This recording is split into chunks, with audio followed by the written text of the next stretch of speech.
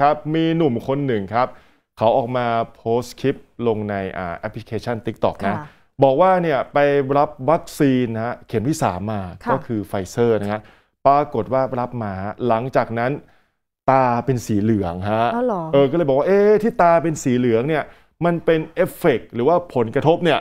จากการรับวัคซีนเนี่ยไฟเซอร์หรือไม่อย่างไรอะเราไปดูกันครับหนุ่มคนหนึ่งฮะนี่ไงนี่นะฮะ เปิดเผยเรื่องของตัวเองครับ บอกว่าเนี่ยไปฉีดวัคซีนเข็ม 3 ไฟเซอร์ ปรากฏว่าหลังจากนั้นครับนี่อาการฮะดวงตาสีเหลืองนะครับแล้วบอกว่าโลกออนไลน์ฮะก็พอพอคลิปเออพอโพสต์ลงไปนะฮะก็มีการแชร์คลิปหนุ่มคนนี้ฮะแล้วบอกว่าเจ้าตัวเนี่ยฉีดวัคซีนเข็ม 3 ไฟเซอร์ ปรากฏว่ามีอาการตาสีเหลืองครับท่ามกลางการตั้งข้อสงสัยของชาวโซเชียลว่า เอ๊ะมันเป็นผลมาจากเนี่ย การไปฉีดวัคซีนหรือว่าไปรับเข็ม 3 มาหรือเปล่านะฮะซึ่งหนุ่มคนนี้ครับก็โพสต์ภาพหลังฉีดวัคซีนเข็ม 3 ก็คือไฟเซอร์ โดยเป็นภาพที่ตัวเองฮะดวงตาสีขาว จากนั้นก็เปลี่ยนเป็นสีเหลืองอย่างชัดเจนครับน้องลี่ลองดูซิสีเหลืองปะเมื่อเออใช่ค่ะ นี่นี่คือคือเหลืองค่อนข้างชัดเลยนะในส่วนสีเหลืองนะครับเขาบอกว่าไปฉีดปุ๊บเนี่ยหลังจากนั้นก็ดวงตาเนี่ยจากสีขาวเป็นสีเหลืองนะฮะขนาดเดียวกันครับ เจ้าตัวก็หมายถึงหนุ่มคนนี้ฮะอธิบายดีว่าสาเหตุที่ดวงตาเนี่ยกลายเป็นสีเหลือง เนื่องจากเขานั้นแพ้ตับนะฮะคำว่าแพ้ตับเนี่ยหมายถึงว่าอะไรอะกินตับหมูไม่ได้หรือเปล่า หรือว่าตับในที่อยู่ในร่างกายเนี่ยมีปัญหานะฮะจะเกิดภาวะอักเสบหรือเปล่า อะไรประมาณแบบนี้ครับ แต่ว่าคลิปนี้ฮะกลายเป็นที่สนใจของชาวเน็ตครับ แล้วก็มีคนมาดูและแสดงความคิดเห็นนะ 4.4 ล้านครั้งนะครับ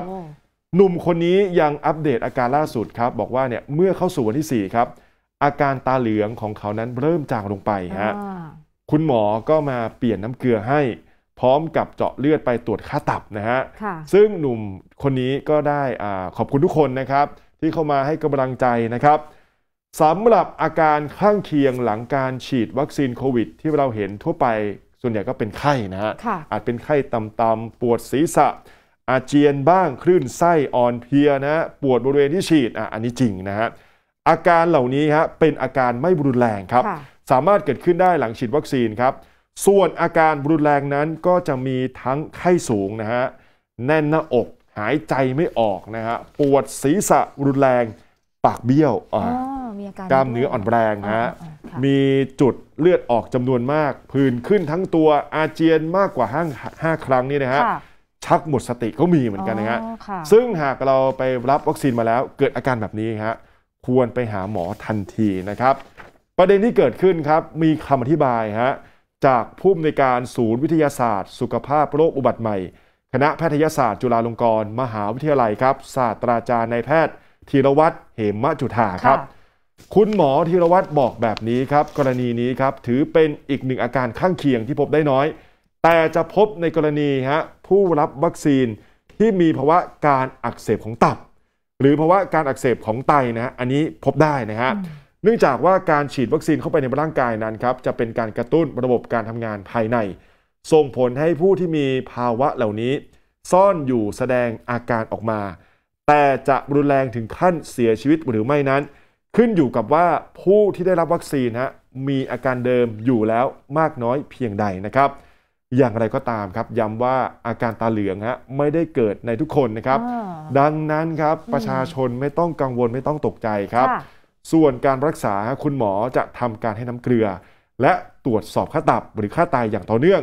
หากพบว่าค่าตับหรือว่าค่าไตลดลงฮะอาการตาเหลืองก็จะค่อยๆหายไปนะฮะซึ่งจะใช้เวลามากหรือน้อยก็ขึ้นอยู่กับแต่ละตัวบุคคลนะครับฉะนั้นนะฮะ ถ้าเกิดวินิจฉัยเบื้องต้น หนุ่มรายนี้อาจจะมีปัญหาเกี่ยวกับตับ หรือว่าไตก็เป็นได้ พอฉีดวัคซีนไปปุ๊บ มันก็ไปกระตุ้นนะฮะ แต่ไม่ได้เป็นทุกคนนะ คุณหมอธีรวัฒน์บอกว่าไม่ได้เป็นทุกคนนะแล้วก็เจอน้อยด้วยที่เป็นแบบนี้อย่าวิตกกังวลนะคะคุณผู้ชม